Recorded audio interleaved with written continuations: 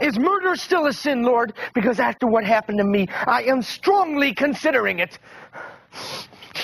I can't believe what Steve did to me. I mean, he stole that job right out from under me. Is there a knife in my back, Lord?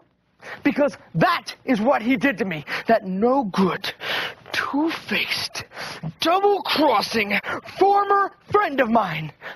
Couldn't you just make an exception on that murder thing, Lord? Just this once, please? Oh, maybe. How about a, how about a slow torture?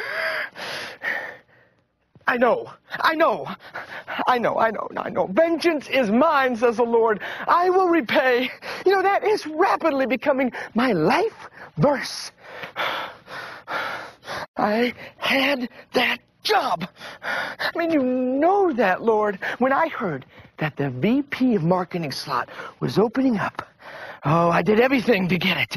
I, I talked to the right people, you know. I, I did the right projects. I, I, I polished the resume. I told Steve what I was doing every step of the way.